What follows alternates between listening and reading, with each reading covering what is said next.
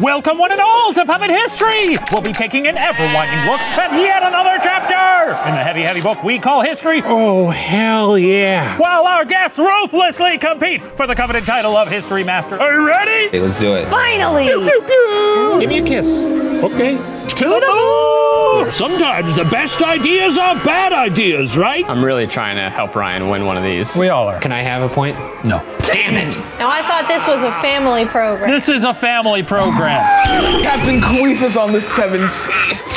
Oh, boy. It was a joke. B. Points to no one. C. A points to neither of you. B for bitch slap. No! I took a hard left. That was great. I mean, it was sad, but it was great.